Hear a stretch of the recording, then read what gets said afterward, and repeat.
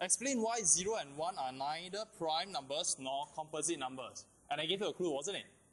I told you to look at the definition of prime numbers and composite numbers. So what do we see? Yes, prime numbers and composite numbers must be greater than 1. So, explain why they are neither prime nor composite. Prime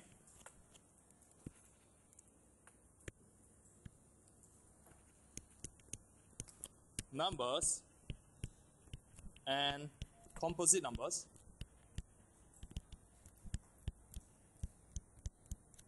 are greater than 1. Okay?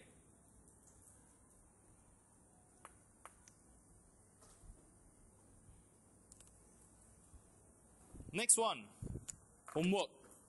This was under exercise 6. So the next five prime numbers after 30, anybody got that? Part B. What's the next prime number after 30? 31, very good. 37, 41, 43, and 47. Okay, all these numbers, they only have two factors. What are the two factors? 1 and itself. Nothing else.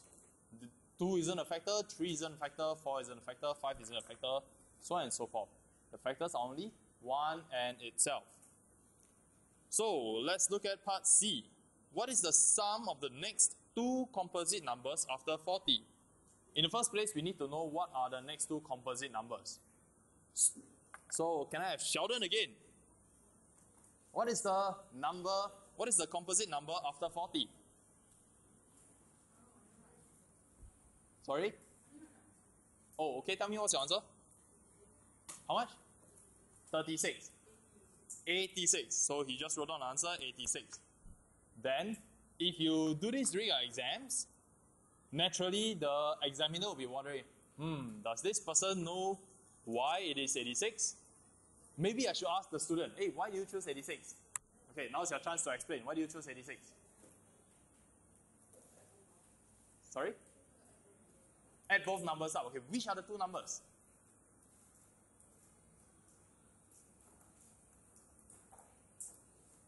Because I need to know whether you really know, right? I'm not going to tell you whether this answer is right or wrong first. Huh? Ah, so what are the two numbers you're adding up?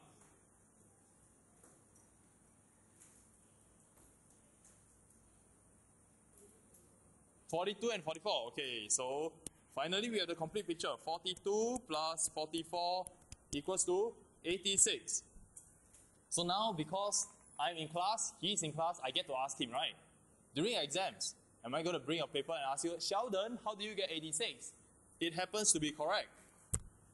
Then can Sheldon come over and tell me, uh, Mr. Wong, I added two numbers. Then Mr. Wong asks, which two numbers? Oh, I added 42 and 44. Then I give you the full marks. That can't happen, right? So during the exams, without the working, I can only assume that you guessed. You guessed correctly. But that doesn't give you any marks. Worst case is, what if I think you're cheating? You don't want me to think that you're cheating, isn't it? So you must show me your working, okay? No working, no marks. Okay, so this is correct. Sheldon got it correct, 86. But please put in your complete working. 42 is the composite number after 40. Because there are, it is not a prime number. There are more than two factors. For example, 1 is a factor, 2 is a factor, 3 is a factor, 6, 7, so on and so forth. So many factors. That's why 42 is a composite number. Now what is a composite number after 42? That will be 44. Because we already identified that 43 is also a prime number. So we add these two numbers up, you get 86. So now, determine whether each of the following is a prime or composite numbers for exercise 7. So part A, prime. We have 23, 47, and 53. Composite will be the rest 9, 25, 45, and 70. Okay, please do your corrections yourself. Do your self marking by yourself. Part B, the largest prime number less than 30, that will be 29. Can you find a larger prime number that is smaller than 30? You shouldn't be able to. Huh? 29 will be the largest. What is the difference between the smallest and largest prime number between 30 and 65? Okay, smallest prime is 31. Largest prime? Yes, very good. Is 61. So, difference equals to 30. Can I just write this? No, I want to see some working, okay? So the difference will be 61 minus 31 equals to ah, 61 minus 31 and you get 30.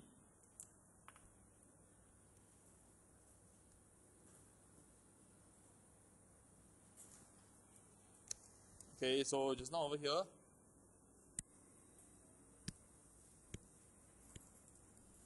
part C, difference equals to 61 minus 31 and our answer is 30, okay? Did I give any more homework? Oh, there was one more. Express 1 to 5 in prime factors. Now we are on page 6. Okay, so I told you one way, right, which is called repeated division. So over here, this is the name of the method. So 1 to 5, we divide. What do I divide it by? Why not any other number? So why do you choose 5? Ah, okay, so the correct answer will be, it is the, 5 is the smallest prime number that can be divided by uh, 1 to 5. Okay? So I cannot choose 2 because I will get a fraction or a decimal. I cannot choose 3. I cannot choose 4. I will choose 5. So 125 divided by 5, you will get 25. Okay, let's think again. Can I divide by 2 again? 3, 4, no, right? 5. Can I do that? Yes, divide by 5 again. And I get 5. Can I divide again? Yes, one more time. 5. What do I get now? 1. Do I stop? I stop here because I get 1. So now, what are the um, what is it that we need to do? We express 125 as 5 times 5 times 5. Okay? Do you notice that 225 is expressed as 2 times 2 times 3 times 3 times 7? They're the same thing. So 125, 125 is equal to 5 times 5 times 5. Very easy, isn't it? Can you imagine if some numbers are very big? Maybe you're going to have many, many multiplication signs. Maybe there's an easier way to write them down. Huh? We will find out next time, okay? Next method is the factor tree. So how does this work? We take we write 2, 1, 6 at the top, and we draw a tree. Draw a tree. You think this is it? No, uh, of course it's not like this. This is not mathematics. I am going to draw a tree, a factor tree, which has branches. Trees have branches. Okay, they, they look like this. But now our tree is upside down, okay? It branches downwards. Okay, now, now, I need to write down what are the factors of 216. Please don't take up too much space uh, because our tree is going to grow very big. Okay? So what is the smallest prime number, the prime factor of 216? Smallest prime factor of 216? 2, yes, very good. So on one side I have 2, and on the other side, I will have 216 divided by 2, mental sums, 108. Thank you. Okay, so now let's look at what we have. Is 2 times 108 equals to 216? Yes, our first step is correct. Okay, now I'm going to draw more branches. Should I draw the branch from 2 or 108? Why not 2? Because 2 is already a prime number. If I if I do this, then I'll get 2 and 1. Oh, then when am I going to stop? Right? I can keep going on and on and forever, right? This doesn't make sense. Let's not do this. Okay, so since 2 is already a prime factor, we stop over there. Now, what about 108? I can further divide it, right? Into 2 and how much is it? 54, yes. Take note that I keep choosing 2 as my, because it is the smallest prime factor of 108. Okay, I keep, I keep trying the smallest prime factor first. Only if 2 doesn't work, then I move on to 3. If 3 doesn't work, I move on to? Do I go to 4? No, I go to 5. If 5 doesn't work, do I go on to 6? No, I go on to 7. I keep trying the prime numbers only. Okay, now, I'm sure some of you will be able to do this. Let's see who can do it faster. Oh, okay, some of you did it faster already. Okay, wait. From here, what happens? 3 and 9. Should I divide this 3? No point, right? Because you get 3 and 1. It's a prime already. So let's divide this one. 3 and 3. Okay? Are you sure we want to do 3 and 1? Then when why stop? Huh? See, uh, see uh, if, I, if I do this, I get 3 and 1, right? Or the other 3, uh? This 3? So 3 and 1? Then do I continue again? No, I just stop at all the prime factors. As long as the prime factor, I stop. Any questions? Okay, so let us write down 216 is equals to, what is equal to now? We will have 2 times 2 times 2 times 3 times 3 times 3. All the prime factors. So let me write it down over here. 2 times 2 times 2 times 3 times 3 times 3. Okay, you can use your calculator and test this out if you want.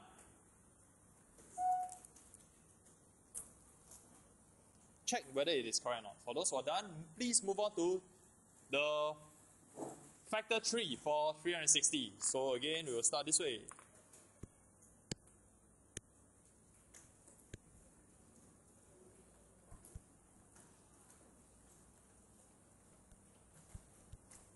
And we start to divide. Okay, draw your branches, draw your trees. What shall we divide it by first? That's right. 2 is the smallest prime factor currently. Okay, please do it yourself. Okay, let's see who can do it faster. Huh? And please tell me if I make any mistake.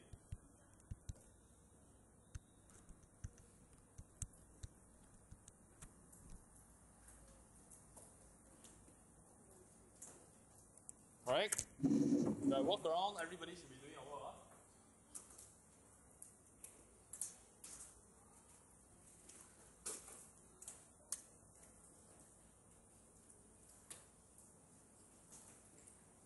Okay, then I haven't uh I haven't written down the final step yet. So what is 360 equals to where are those?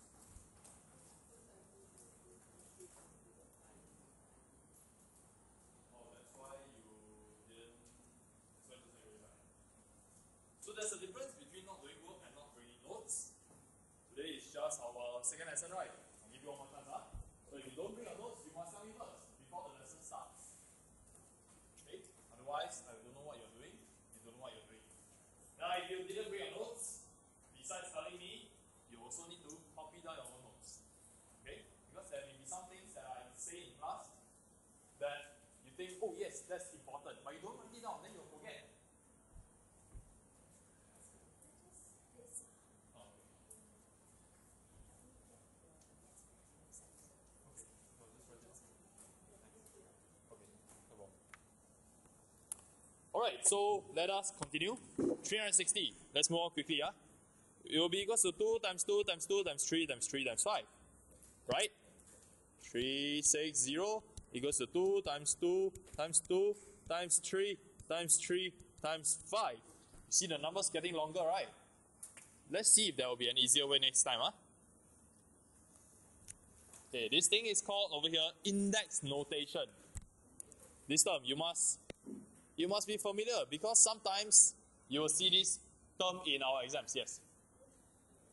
Sorry? You don't have the page. Anybody else doesn't have the page? Oops.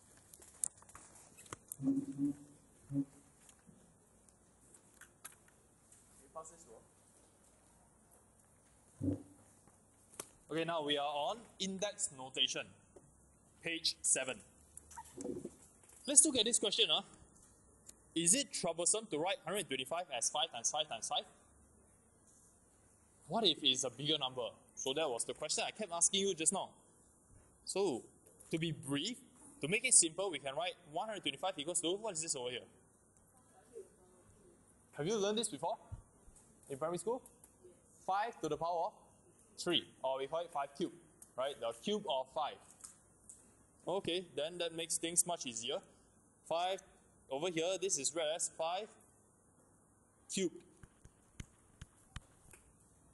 Okay, so fill in the blanks with me. So what about this one? 5 and then this little 2 at the top. It's 5 squared. What about this one? 5. Do we call it 5 fourth? Because we have a cube and a square. No, right? We call it 5 to the power of 4.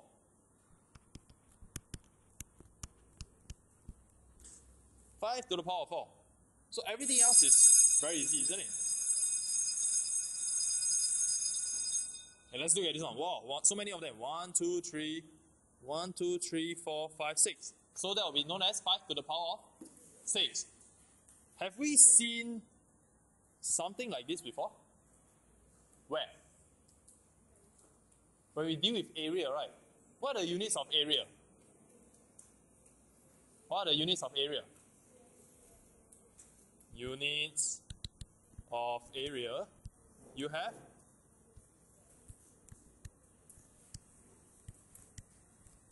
so on and so forth, right?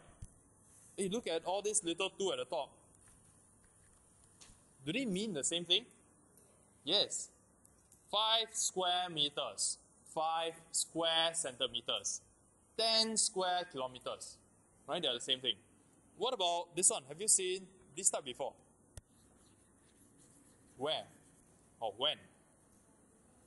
Volume, yes. What about, uh, you look at your, maybe a water bottle. You may say 100 milliliters, right? Then for water, it is actually the same as, uh, sorry, 1000 milliliters, the same as 1000 cubic centimeter, isn't it? Cubic is the same over here, cube. Okay, we have seen all these things before, nothing scary about them. Okay, so generally, A times A times A times blah blah blah blah A equals to A to the power of n. Can you tell me how many A's are there over here? How many are there? How many? N. There are N. How do I know there are N? Because over here you say it's N already. So there are N times. So if there are 11 times, then it will be A to the power of 11. If there are, if the number A over there appeared 27 times, then it will be A to the power of 27. Okay? This makes things easier. So that when we do factorization like this, probably we can simplify it already. Instead of writing it so long, we can shorten it. Okay, and the final one, in conclusion, we can use index notation. To represent the prime factorization of a number. Prime factorization, you have learned two ways. Repeated division and the factor tree.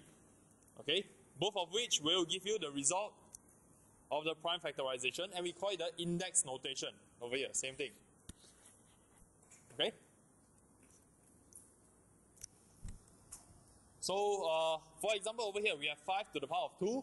The number 5, we call it the base. It is at the bottom, we just call it the base. The number 2 at the top, we call it the index. Or sometimes we call it the power. Okay, depending on the, the base and the index, you will get different numbers.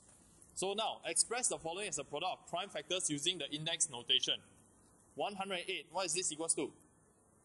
First, you can choose to use either repeated division, meaning this way, 108 divided by 2, then you get 54, and you continue. Or you can do it using your factor tree. 2, then 54, continue. Whichever one you prefer. Okay? So what will you end up with if you do this? Either of these two. Please try it now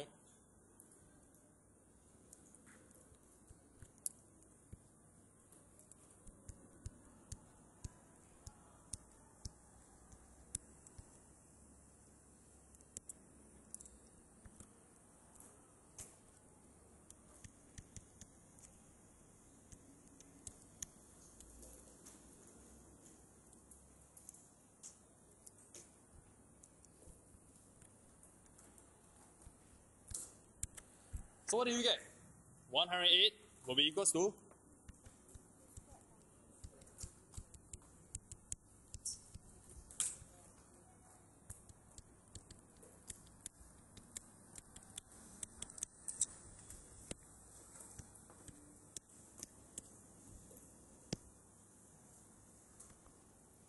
So over here, whether you did it by repeated division or if you did it by your factor tree, you will get the same answer which is 2 times 2 times 3 times 3 times 3. In the past, we would have written oh, 100 equals to 2 times 2 times 3 times 3 times 3. But now we learned index notation. Let's shorten it. Instead of writing it so many times, you write 2 to the power of to the power of how many times did it appear? Two times. Over here also two times. Whichever method you choose. You will get 2 square times 3 to the power of 3. Okay, 3 appeared 3 times. Okay? So that is the answer for the first one. Let's try 192.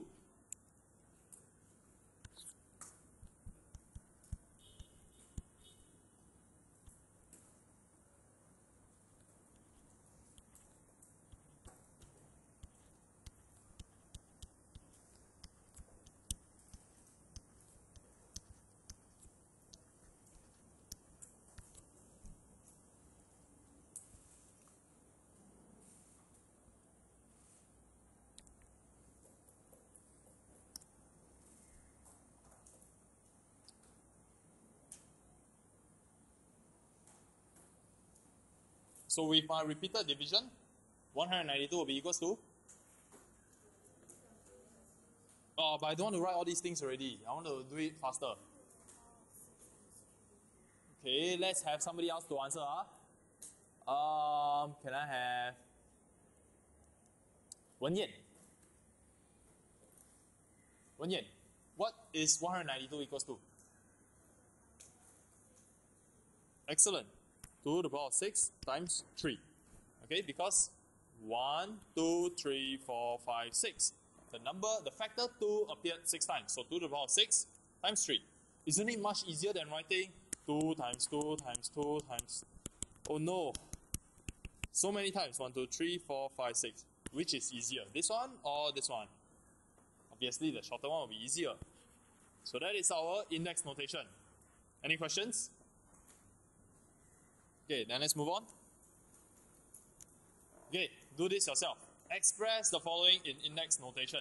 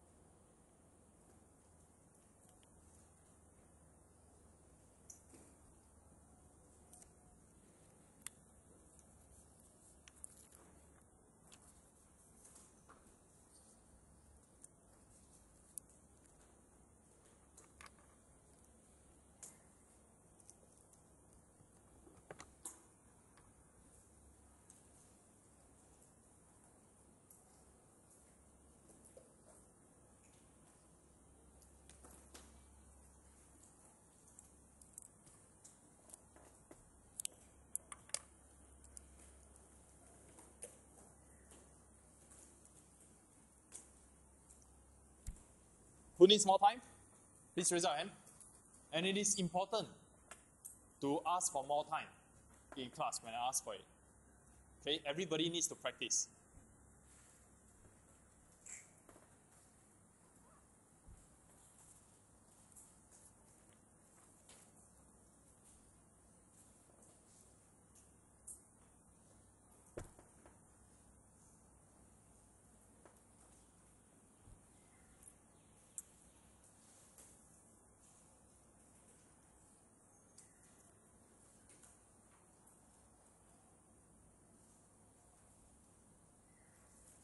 Who needs more time? Anybody? Okay. Meanwhile, the rest while waiting, I want you to remember what this index notation is. Huh? It is the prime factorization of a number. Okay? That was found in page 7. Index notation will show you the prime factorization of the number. So all the numbers that you write down, all the bases should be prime numbers. Let's try part B first. What do we have? 5 to the power of 5 to the power of 1, 2, 3, and 4. Okay, 5 to the power of 4 times 13 to the power of 4 because over here I have 1. How many are there over here?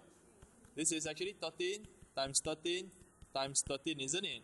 Because 13 cubed. So there are a total of 1, 2, 3, 4. 4 of them.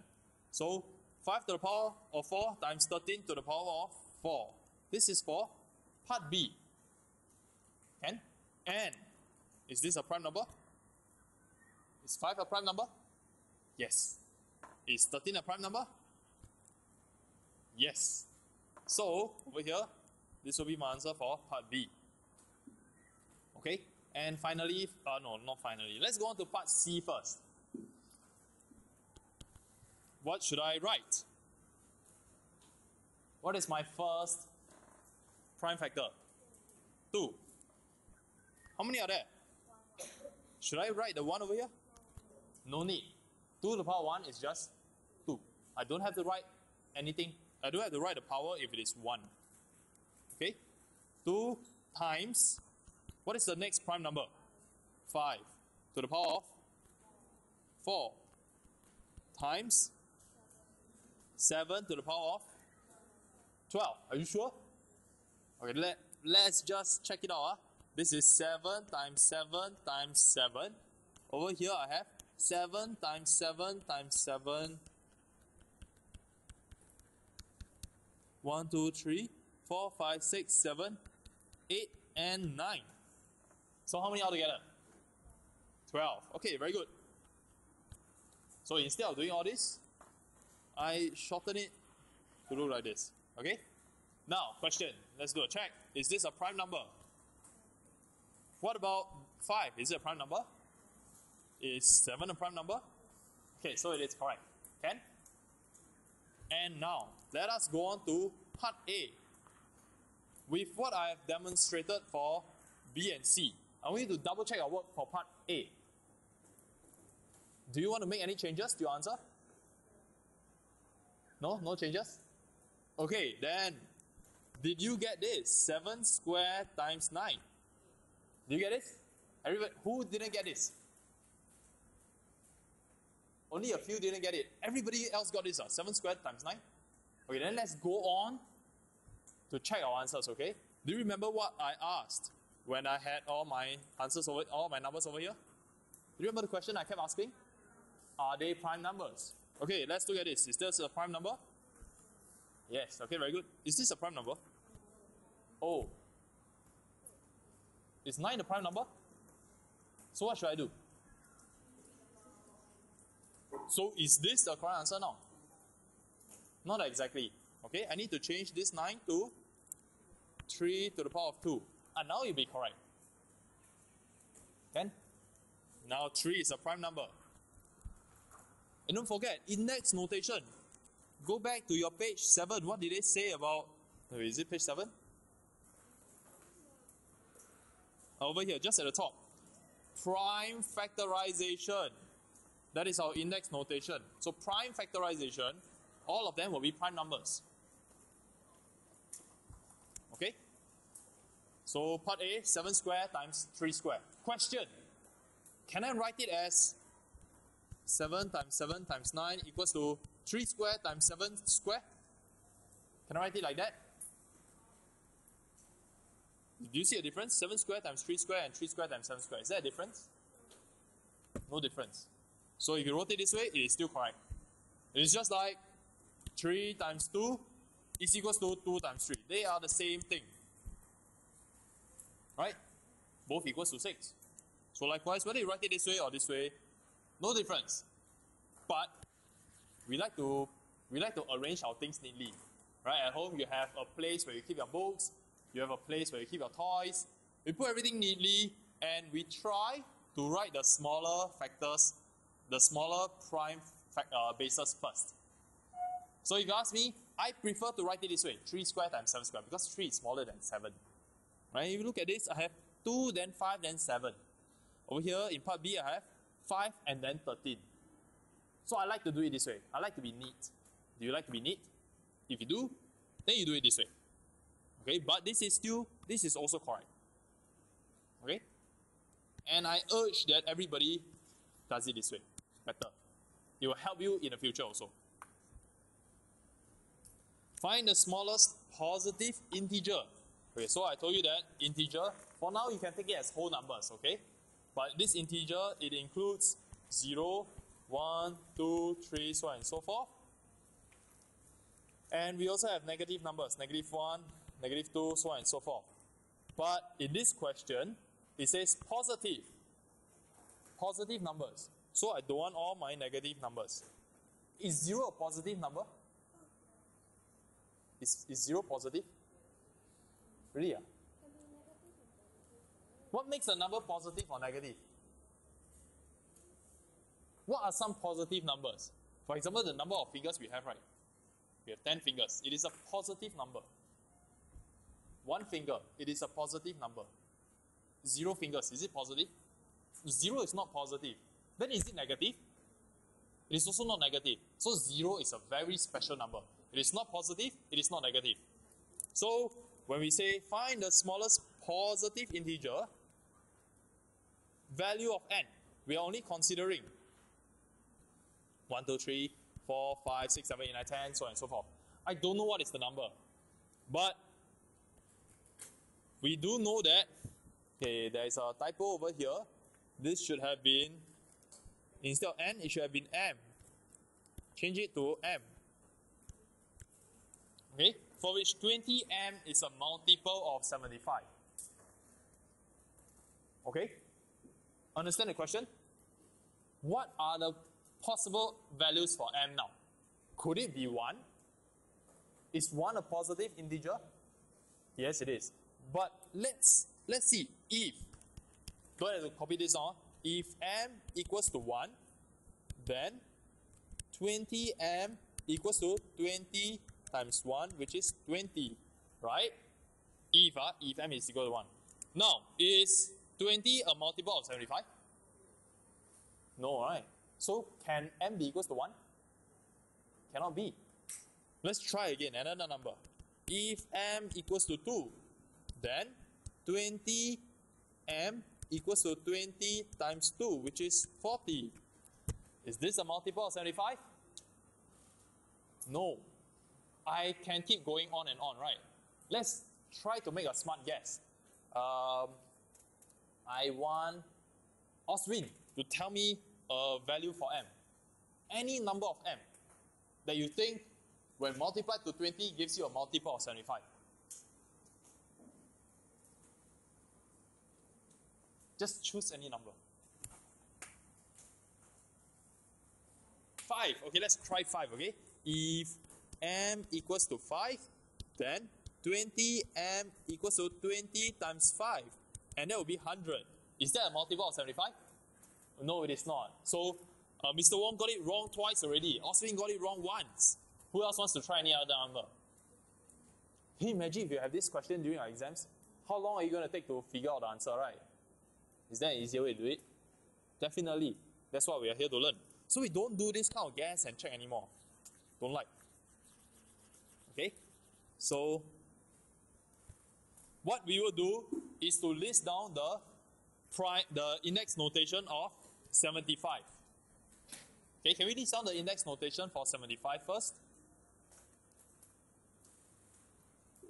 75 is equals to you do it any way you like, okay? Whether it is your repeated division or your prime or your factor tree.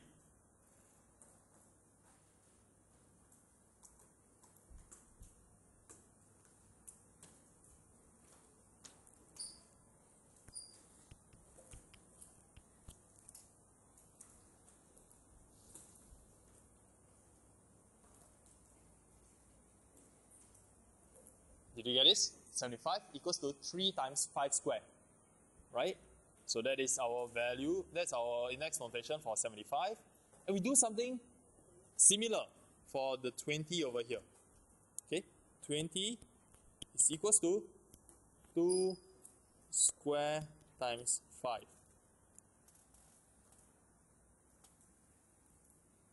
Okay, so far?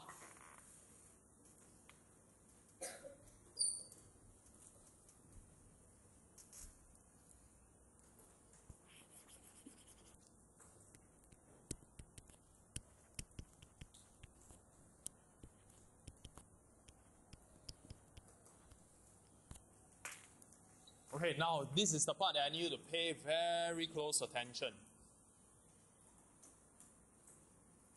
For this question, 20 multiplied by m. The answer will be a multiple of 75. Okay? So over here, 20 m, right, is the same as, right or wrong? I multiply by m on left side, I multiply by m on the right hand side. So this m can be any number. It could be 1, 2, 3, 4, so on and so forth. I don't know what that is yet. And it is my job to find out. Okay? So if 20m is a multiple of 75, wouldn't 20m have a factor? Wouldn't 20m have all these factors as well? Let me say one more time. If 20m is a multiple of 75, then 20m will have all the factors of 75. All these factors will be found inside 20m. That's the only way for 20m to be a multiple. So let us compare between 20m and 75. What can be found in 75 that is not found in 20m? 3. Very good. This 3 over here is not found inside here. So I know that 3, this number 3, must be a factor of 20m. So I will multiply this by 3 over here. Now is 20 equal to 2 squared times 5 times 3? Are they equal? Left hand side, right hand side, are they equal? Not yet. Because I multiply by 3 over here. Then I also must multiply by 3 over here. Now they are equal, right? Okay. Is is uh, 20 times 3, which is 60. Is it a multiple of 75? Not yet, because not all the factors in 75 are found in 20 times 3 yet. What else is missing? 5, because over here we have 5 squared, which is 5 times 5. Whereas in 3 times 20, I only have 2 squared times 5 times 3. 5 only appeared once. I need it to appear how many more times? One more time. So I multiply this by 5. Multiply this by 5. Okay, so far? If you, if you like, you can take your calculator, go and press 5 times 3 times 20. Is it the same as 5 squared times 5 times 3 times 5? You can go and test it out yourself. You will see that they are the same. Okay?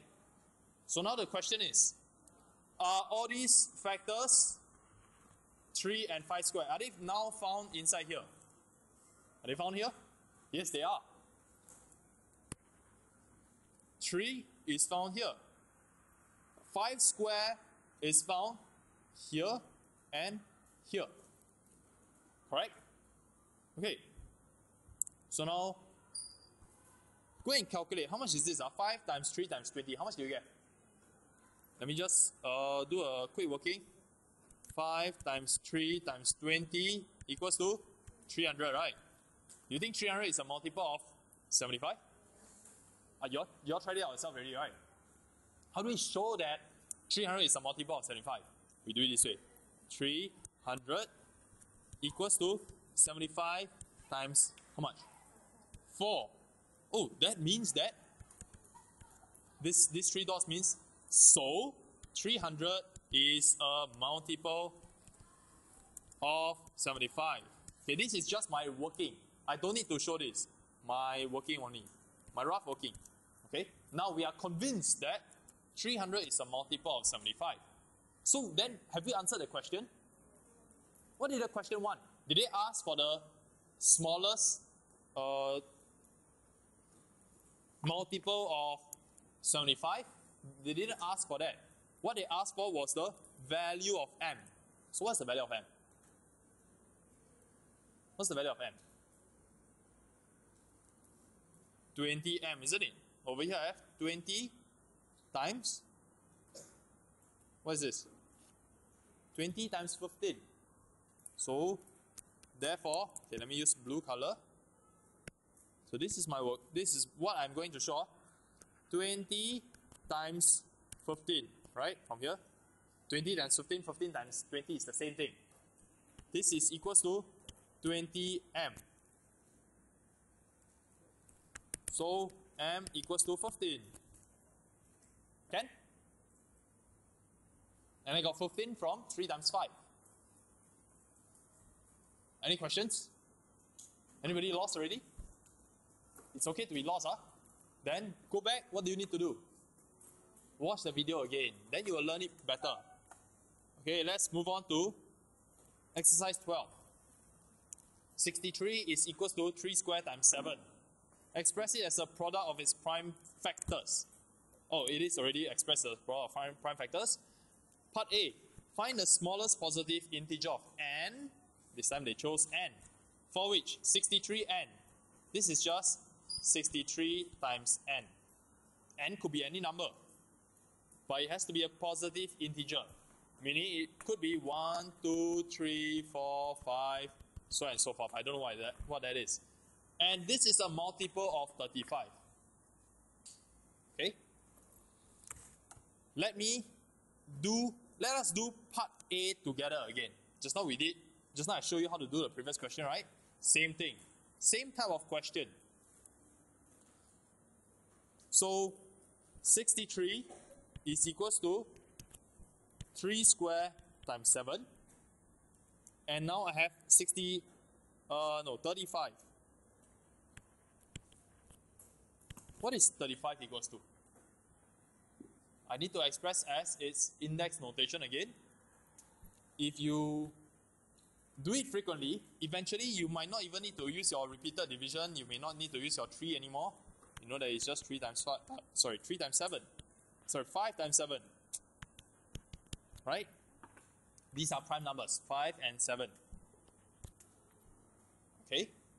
And 63n is a multiple of 35, which means all of the factors in 35 must be found in 63. One more time. Since 63n is a multiple of 35, that means all the factors of 35 must be found in 63n. Okay, so what is missing now? Ah, 5. Okay, let me use another color. If I multiply this by 5, I need to do so over here as well. Okay? Now, are all the factors in 35 found inside inside my first line now? Which one is not found inside? No, I, I need to check that all these factors, 5 and 7, they are found inside 63n. Are they all found there? They are, right? So I can stop already. Okay, so from here, I can say that 63 times 5 is equals to 65n. Okay? 60, uh, what, you, what is 63? So careless. 63 times 5 is equal to 63n. Okay, please don't be careless, huh? 63n. So this tells me that n will be equals to 5. Okay, you can go and try it out with your calculator. Take 63 times 5. Find out what is that value. Then see whether it is a multiple of 35. Okay. So uh, self check over here. You don't have to show this. 63 times 5, that gives me 315. Then 315, I can express it as a multiple of 35. Equals to 35 times 9. Therefore, 315 is a multiple of 35. This is just my self-check, no need to show. But at least it convinces you that yes, n could be equal to 5. And in this case, it will be the smallest positive integer. Can? Okay, now part B is your homework.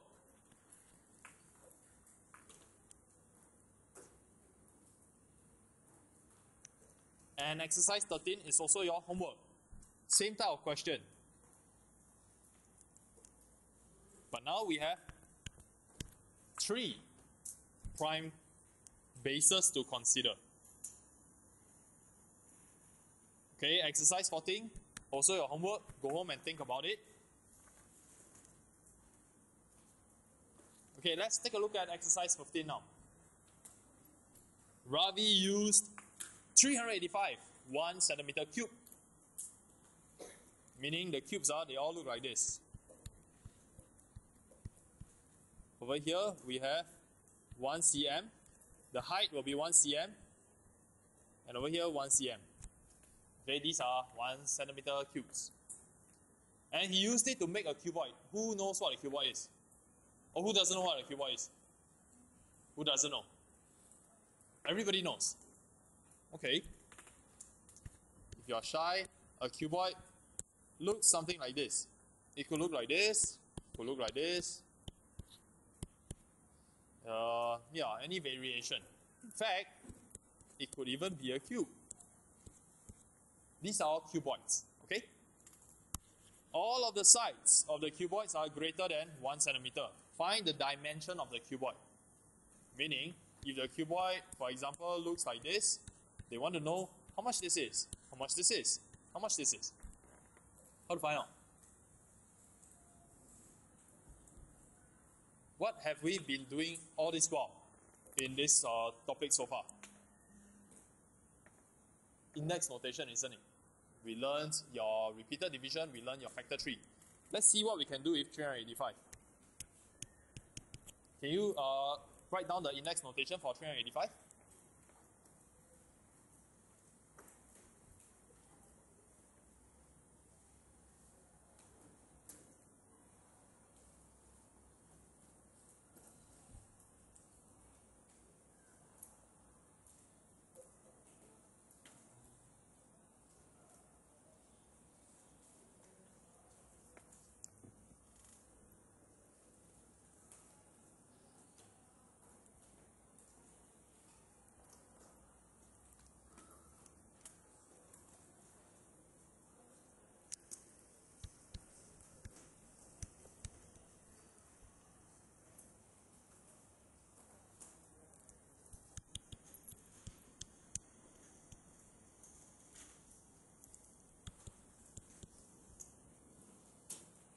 So what do you get? 385 is equals to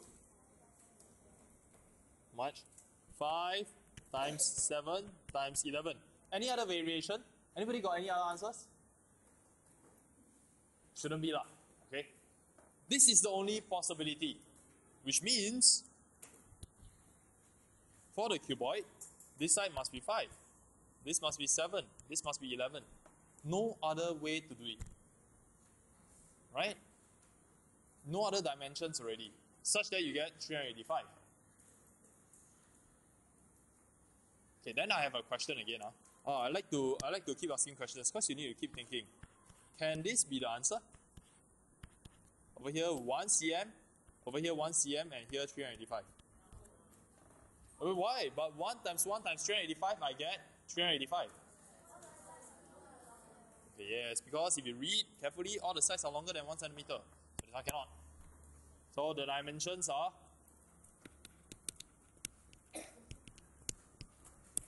three, uh, sorry, five cm, seven cm, and eleven cm. Okay, over here cm, cm, and cm. Okay, any questions?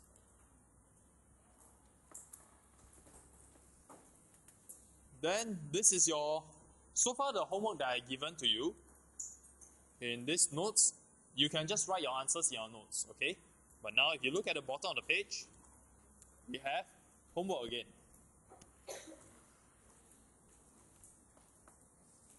There are one, two, three, four, five, six, seven questions over here. It is due on Thursday. So you have three days to do it. Monday, Tuesday, Wednesday. Three days should be enough, huh? This should be done on foolscap paper.